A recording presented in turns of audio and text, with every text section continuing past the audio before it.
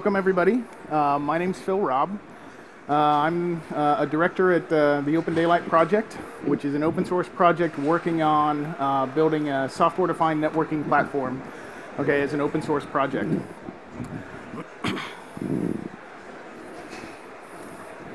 so, Open Daylight started about two years ago, and really what we're trying to do is create a common platform for everybody to use to uh, build an SDN controller uh, that the industry can use as a whole. How that relates to OpenStack, uh, we'll get into here in a, in a, in a, few slides. But really, OpenStack and Open Daylight are um, two very important pieces to a variety of different solution stacks um, that different industries need. So as our communities continue to grow, uh, our ability to collaborate is actually very, very important. Um, having a common platform similar to OpenStack, and I'll probably do this a few times throughout this talk. Um, OpenStack and Open Daylight are very similar in the sense that when an industry comes through a disruptive technology, looks to build something for their customers, if you don't do it on a common platform and all the different vendors create something independently on their own, it slows down innovation, it makes it confusing for the users, and everything just moves much more slowly, right?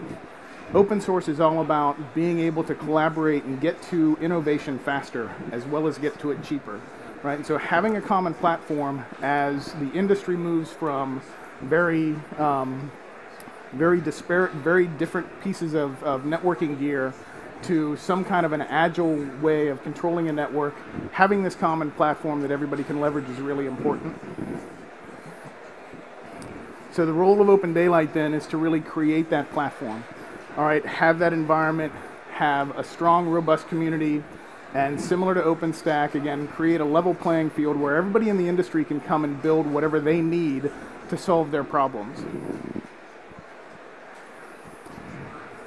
So again, we've been around for two years. OpenStack's been around for five years. We're just now to the point where we've got vendors who have started creating solutions and bringing those to market that are all based on Open Daylight as a platform, these are some of those organizations that have made announcements or have already introduced products. You know, and if you think back, if you think back to you know 2012 when OpenStack was two years old, same type of thing, right? Vendors were starting to re realize what they could do with OpenStack, starting to bring products to market, but we didn't have a whole lot of users, right? OpenStack at that 2000 or 2012 mark was really trying to get users, and that's really where Open Daylight is right now as well. We've just started. We've just started to get um, traction with a variety of users talking about what they want to do with Open Daylight, and we chose to use this uh, this slide from AT&T as an example of where again Open Daylight and OpenStack um, create a strong solution for an industry. Right. So in particular, this is about network function virtualization. Right. I'm, certainly a, a, term that you've heard um, throughout the show here um, over the last couple of days. And this particular slide was presented uh, by an AT&T representative um, about a week ago, two weeks ago, on May 6th um, at NFV World, right? And this is a good example of, you know, they need a service orchestrator.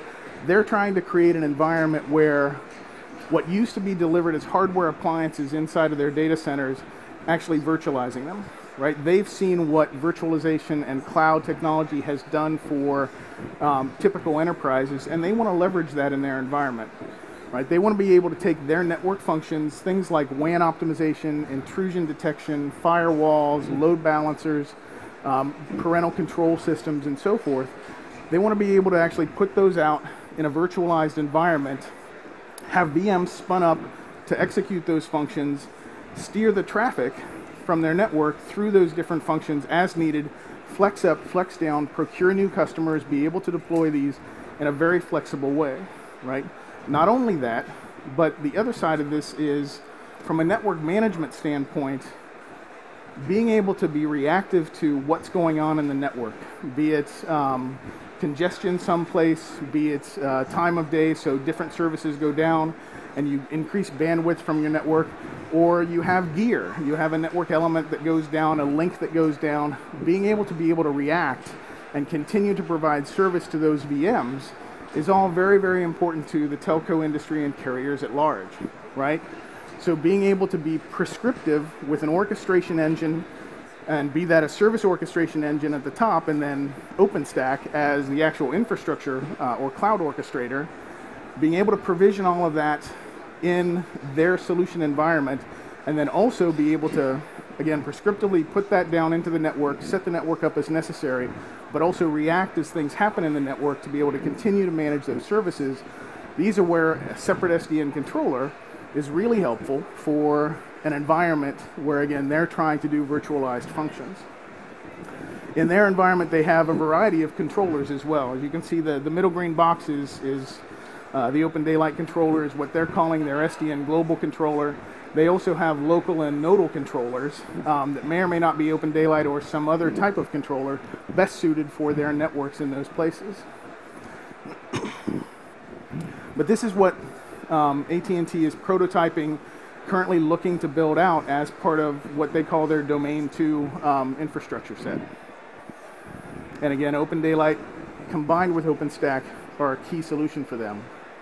So Comcast is another customer that started to talk about what they're trying to do, right, and how they see uh, SDN fitting into their world.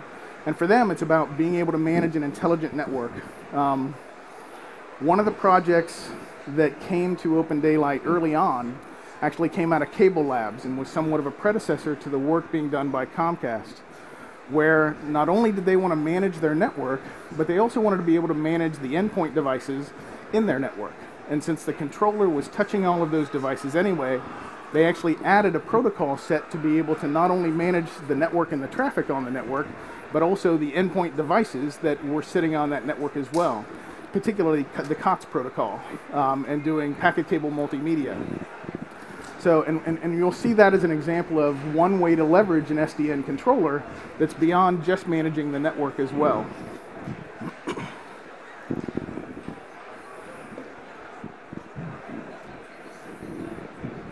So I'm going to talk a little bit about community and collaboration. Again, important themes both within an open source project as well as across open source projects. So from our community standpoint, these are just kind of some of our numbers. Again, Open Daylight's been around for two years. Uh, we've had two releases, hydrogen and helium, and yes, we are following the periodic table. Um, lithium is our next release, and it's actually due on June 25th. So we're just now coming up on code freeze and entering into our release candidate phase. Um, but for hydrogen and, and, helium, you can see the number of projects, 13 in the first, 23 in the second. Lithium actually has about 40 projects. Right, we're also just to the point where maybe some of those projects end up getting shook out, depends on you know if they're going to make their, their, their cutoff and so forth. But from a contributor standpoint, we're up well over 300 active contributors um, with a lot of commits and a code base sitting around 2.2 million lines of code. So we also do and want to continue to improve on collaborating with other projects, right? If you think about how all of us are using open source and collectively putting open source together, aggregating it, building glue code as necessary to make these things ultimately form a solution, right? Either for ourselves or for our customers, right? So the relationship that we have with, with OVS, certainly the relationship we have with OpenStack um, are very important.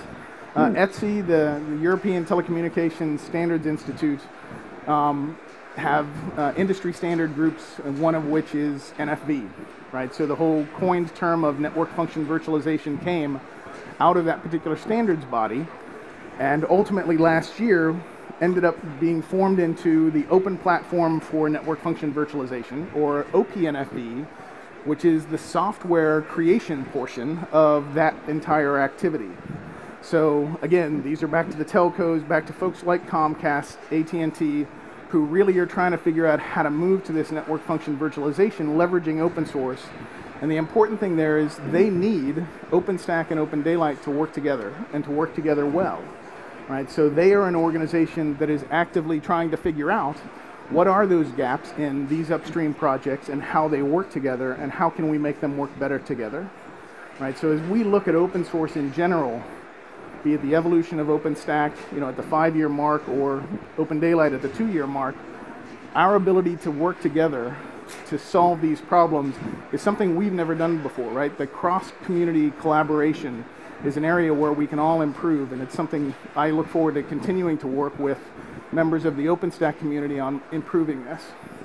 Um, another organization that's very important for the software-defined networking space at large is the Open Networking Foundation. They are the folks that govern uh, the OpenFlow protocol. And then there's also a variety of protocols that continue to be managed out of the IETF that are also important to us. So this is the architecture diagram of the version that we currently have released, which is again codenamed Helium, or called Helium. Um, just to give you a flavor for the componentry that goes into Open Daylight, uh, there are a variety of applications that sit along the top there. Uh, those are the ones in the light brown. You can see OpenStack Neutron. We consider a northbound application, right, that leverages us. We have a set of APIs that um, expose the functionality of Open Daylight, and then a core set of services that are all identified in green there.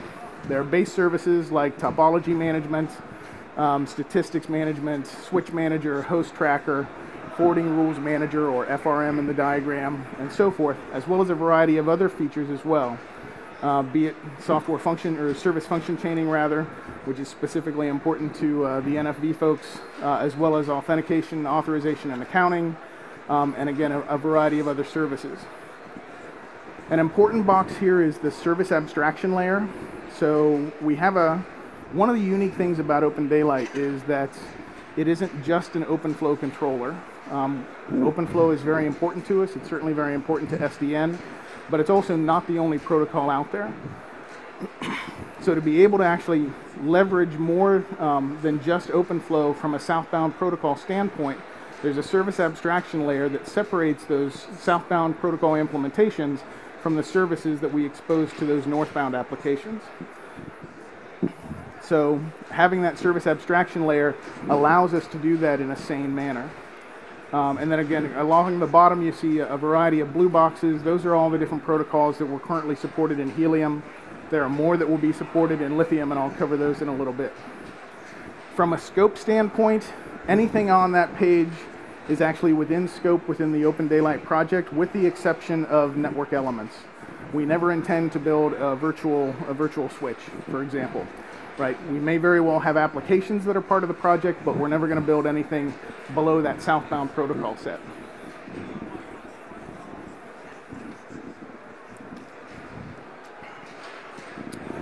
So some of the things that we worked on when we were doing Helium, again, the current release out, were better uh, uh, OVSDB integration, uh, security groups we started, uh, distributed virtual routing we started, as well as LBaaS, as a, or load balancing as a service, and an ARP responder hopefully some of you actually caught Flavio, uh, Flavio and Colin and Kyle Mestry's uh, discussion earlier today. They went certainly more into detail on those.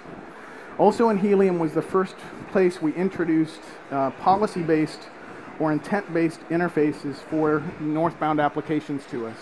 This is actually a really interesting space and one that certainly gets a lot of attention within the Open Daylight community and is also very important to, to folks from OpenStack right? Being able to identify just whatever OpenStack as an orchestrator wants to make the network do without specifically having to tell it what to do. You know, give me a network, you know, I, I, have a certain set of hosts that I have a certain set of characteristics. I want them to have traffic that goes someplace with the level of service, right? Being able to define what you want as an orchestrator and have something else magically make that happen to for you, you know, given whatever your network elements are the, that, that would accomplish that. That's the idea in trying to abstract out a northbound interface that can be leveraged by OpenStack and other applications, but implemented within a controller such as such as Open Daylight. so again, Lithium is our third release, targeted for June 25th. Specifically, we've continued to make improvements inside of the core, and you'll see this if you, if you get close to the project.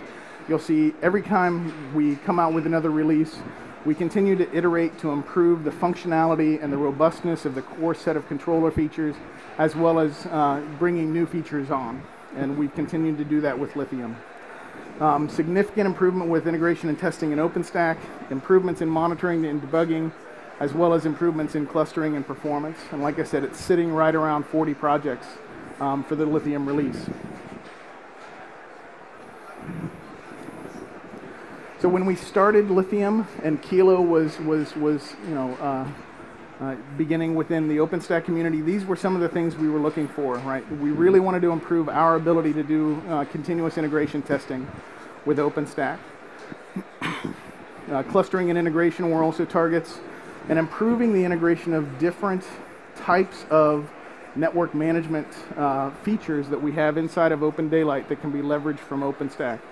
So there are a variety of projects and a variety of ways of managing your uh, tenant networks uh, through Open Daylight, right? So the OVSDB project is a direct connection to OVS. Uh, the Virtual Tenant Networking project, or VTN, is a way of doing multi-tenancy. Group-based policy, we already mentioned, is another way of managing your network through that intent-based um, API.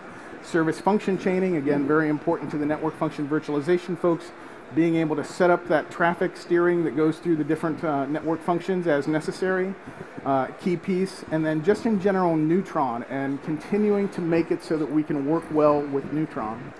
Those were areas that we had on our wish list when we started, as well as some, some other uh, tactical improvements um, within the project. So I can tell you that our continuous integration environment got much, much better. Uh, we spent a lot of time actually trying to make that much better. Uh, for anybody who's worked on uh, a couple of different open source projects at the same time that are both moving at relatively rapid paces, getting them so that you know what you're testing and when something breaks, where to actually find and how it broke and what it was and continuing to move on, that's been a significant challenge. Um, and it's one of those areas where, again, I'd love to continue to work with the OpenStack community to figure out how we can make that better. Again, as we work on cross-project collaboration, building environments that allow both sides to test, quickly debug, figure problems out, and then fix it so that it doesn't ever happen again, these are areas that we could be working together on, right? And those are things that are important to Open Daylight, and I think ultimately very important to OpenStack. Again, as we continue to build uh, features that end up as solutions to entire industries together. So some of the new projects in the service category for Lithium include uh, a unified secure channel, time series data repository. Again, so you know, one of the interesting things about having a centralized controller is all of the statistics that you can be pulling from your virtual machine, from your uh, rather your your your network elements, be them virtual or physical. Right, having some way to actually store that off and then do big analytics against it, or do some level of data science against it, so that you can understand what your network is doing and improve it. That's what TSDR is all about. Being able to identify devices that aren't OpenFlow inside of your network is really what the device identification and uh, driver management uh, set of uh, projects is about. Uh, persistence, again, being able to actually maintain over starts and stops of a controller, consistent set of data that isn't already built in uh, to the HA environment of the, of the service abstraction layer is what the persistence project is doing. And then topology processing, right? So in our environments now, we have virtual environments. So you got virtual networks and virtual topologies. You've got physical topologies because we support a variety of protocols, you've got a topology understood through through uh, the trading of BGP information, or you have what you know about you know, what you've done for flows for OpenFlow. So you have a variety of different ways of looking at your network, and so bringing topology out of the core controller as its own project so that it can continue to be um, uh, grown and evolve uh, to manage all those different types of topology views we might want is what topology processing is about. So new protocols, um, again, SXP doing link aggregation. Um, IoT data management is another one of those like uh, uh, where it's not really a networking protocol, but it's managing those Internet of Things devices through their protocol set because a controller happens to be able to see everything. So it's an interesting project. Again, SNMP kind of goes with device identification and uh, driver management and being able to understand and, and, and uh, uh, inventory the devices you have that aren't OpenFlow uh, as well as CapWAP and distributed LLDP with, uh, with auto attach. Northbound APIs, again, as I mentioned, we continue to, to really explore how best to represent a network abstraction So network intent composition is another project working closely with the, the Northbound um, uh, interface group out of uh, the Open Networking Foundation. They're also working uh, with the group-based policy project to, to, to, help implement what they're exposing as an intent-based API for applications. Um, the Alto project is similar, and again, abstracting uh, the network out uh, as another opportunity or another method of doing this. Again, this is new, so we have a variety of implementation techniques that we're basically learning from, which one's going to work best. And then for us, always continuing our new Neutron uh, northbound access points so that as Neutron evolves, we have the best possible way of tracking Neutron changes and implementing that or, or facilitating the different services within Open Daylight that implement what's necessary or what's exposed to OpenStack Neutron. Uh, then finally, we've done some release engineering work uh, to make our own release process better. We, uh, we have a very nice uh, continuous integration environment, leveraging a lot of OpenStack tools, be it Nodepool we're currently moving to. We have aspirations to get to Zuul and Gearman as well. Again, thank you OpenStack community for uh, all the great work you've been doing. From a timeline perspective, um, again, Lithium is, uh, is just about to come out here in mid-15. Beryllium somewhere at the end of 15, beginning of 16. We're still under discussions and then boron will be somewhere in 16, roughly on six month schedules. And then uh, in closing, again, since I'm wrapping up uh, this theater for today, uh, tonight we have a dinner going on at 6.15. You're very welcome. We have cards right back here on our, uh, on our desk on helping you to get there. Uh, we have uh, an OpenStack Summit panel on Thursday. Please come there, as well as our own summit that's at the end of July out in Santa Clara. Uh, we have a variety of uh, user groups that continue to spring up uh, globally. Get involved if you're interested. Um, and then, of course, opendaylight.org and wiki.opendaylight.org for all of the information for us. And with that, I think I'm closed. So, thanks, folks.